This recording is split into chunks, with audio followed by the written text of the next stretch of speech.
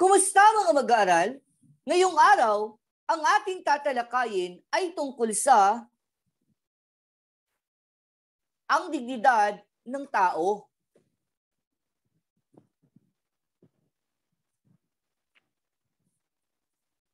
Layunin, nakikilala na may dignidad ang tao anuman ang kanyang kalagayang panlipunan, kulay, lahi, edukasyon, relihiyon, at iba pa.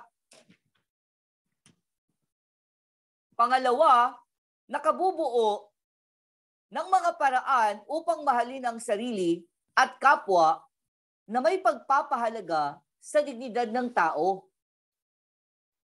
Pangatlo, napatutunayan na ang paggalang sa dignidad ng tao ay nagsisilbing daan upang mahalin ng kapwa tulad ng pagmamahal sa sarili. At ang paggalang sa dignidad ng tao ay nagmumula sa pagiging pantay at magkapareho nilang tao. Number four, na isasagawa ang mga konkretong paraan upang maipakita ang paggalang at pagmamalasakit sa mga taong kapuspalan o higit na nangangailangan kaysa sa kanila. Pero bago tayo magsimula sa ating talakayan, tayo muna ay magkakaroon ng paunang pagtataya. Unang tanong, bakit may pagkakaiba-iba ang tao kahit matalino, talentado, at magaling siya sa maraming bagay. A. Dahil sa pagkakapantay-pantay ng lahat. B. Dahil sa paggamit ng isip at kilos loob. Letter C. Dahil sa kalayaang ipinagkaloob. Letter D. Dahil sa pagiging angat sa iba. Ang tamang sagot sa unang katanungan ay letter A. Dahil sa pagkakapantay-pantay ng lahat. Pangalawang tanong, ang tao ay may taglay na dignidad. Ano ang nararapat ibigay sa tao? A. Ang pagmamalasakit at pag-unawa B. Ang pagpapahalaga at paggalang. Letter C. Ang pagkalinga at paggalang. Letter D. Ang pagkilala at pagtulong. Ang tamang sagot sa pangalawang katanungan ay letter B, ang pagpapahalaga at paggalang. Pangatlong tanong, ang tao ay naiiba sa lahat ng nilalang. Ito ay ayon kay Immanuel Kant. Ano ang ibig sabihin nito? Ang tao ay mayroong hindi nawawala at mapantayang halaga dahil sa kanyang isip at kalayaan. Letter B, ang tao ay may angking talento at galing Letter C, ang tao ay may kakayahang kumilos.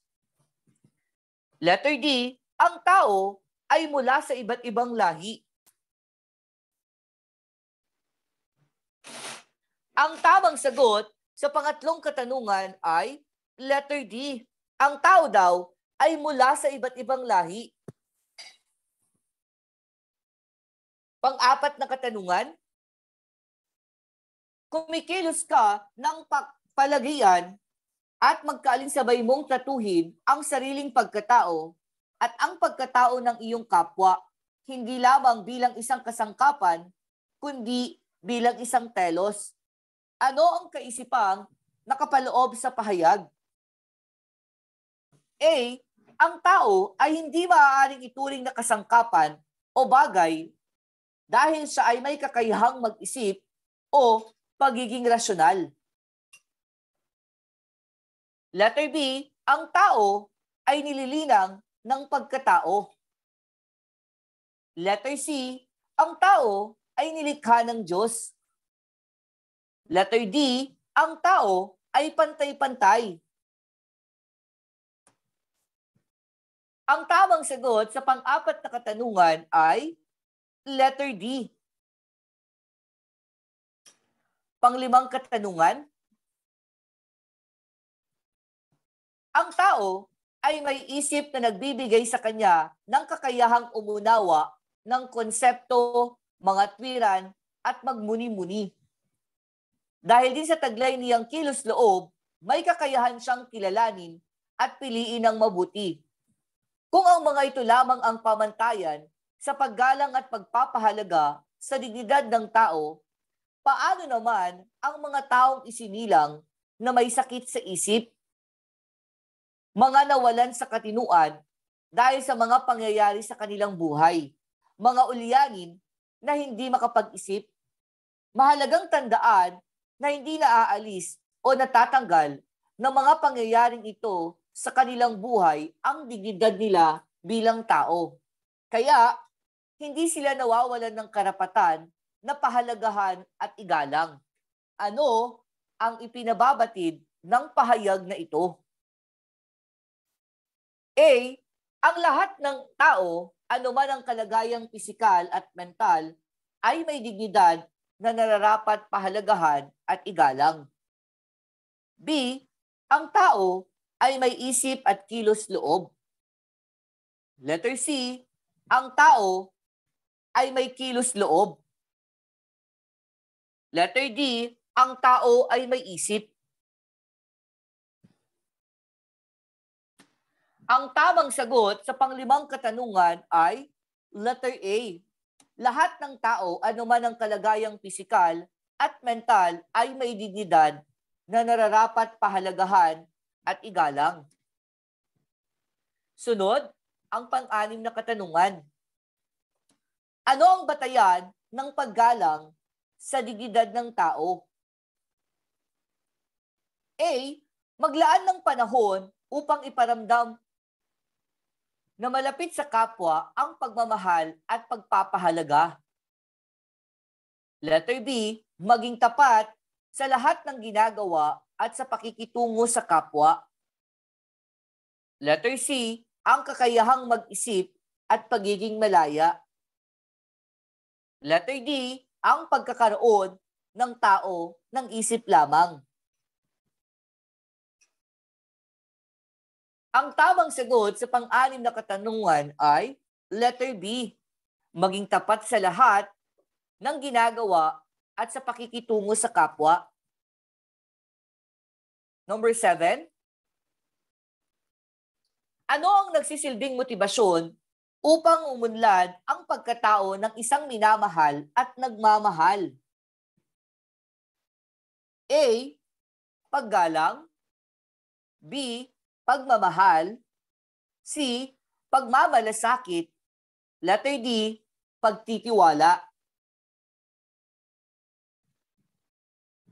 Ang tamang sagot sa pangpitong katanungan ay letter A. Paggalang. Sunod, pangwalo. Bakit mahalaga ang paggalang sa dignidad ng kapwa habang nabubuhay? A, dahil ito ang inaasahan at makabubuti para sa sarili at kapwa. Letter B, dahil ito ang paraan upang maging matagumpay sa buhay. Letter C, upang maging mabuting halimbawa sa kapwa. Letter D, upang makilala sa lipunang ginagalawan. Ang tamang sagot sa pangwalong katanungan ay letter B. Dahil ito ang paraan upang maging matagumpay sa buhay. Number 9. Ano ang itinuturing na pagiging moral? A. Ito ay paggawa ng mabuti o mabuting kilos ayon sa iyong konsensya na nahuhubog sa likas batas moral. B, ito ay pakikitungo sa kapwa ayon sa nais gawin nilang pakikitungo sa iyo. Letter C, ito ay ang pagsasaalang-alang sa kapakanan ng kapwa bago kumilos. Letter D, ito ay ang paggalang sa buhay ng kapwa. Ang tamang sagot ay letter C. Ito ay ang pagsasaalang-alang sa kapakanan ng kapwa bago kumilos. Sunod, ang pangsampu at ang panghuling katanungan, alin sa mga sumusunod na sitwasyon ang nagpapakita ng moral na pamumuhay? A. Ang pagbibigay ng pagkain sa mga pulubi upang makita ng ibang tao. B. Ang pagpuna sa pagkakamali ng anak sa harap ng mga kaibigan. Letter C. Ang pagbibigay ng tulong ng mga may hinihintay na kapalit. Letter D. Ang pagtuturo ng kagandahang asal sa mga anak. Ang tamang sagot sa pangsampung katanungan ay letter D. Ang pagtuturo ng mga kagandahang asal sa mga anak. Ayan ah, natapos na natin ang sampung katanungan. Ah, para naman sa pagpapatuloy ng ating talakayan, ito ang hinandang performance task para sa inyong gawain mamaya. Tunghayan ng mga kasunod na larawan, tukuyin ang ipinapahayag ng bawat isang item sa titik A, B, at C tungkol sa larawan. Isulat ang sagot sa iyong Canva or sa iyong mga gagamiting app. Gabay mo ang unang bilang. Sa letter A, ang kailangan mong maisulat ay ang madalas na katawagan sa kanila ng mga tao. Letter B, ang iyong damdamin kapag nakikita ka o nakakakita ka ng mga taong tulad niya sa kalye. Letter C ay ang paraan naman ng pakikitungo sa kanila ng kapwa. Halimbawa, ang unang larawan ay pinapakita siya ay pulubi o namamalimos. Sa letter B naman, kapag nakakakita ka ng katulad niya, maaaring ikaw ay naaawa. At letter C, maring ang paraan ng iyong pakikitungo, pinandidirihan, ilalayuan, at iniiwasan. So sa mga susunod na larawan, ikaw na ang gagawa kung ano-ano ang mga kailangan mong mailagay sa bawat letra. Ayan na, ipagpapatuloy natin ang part 2. Paalam!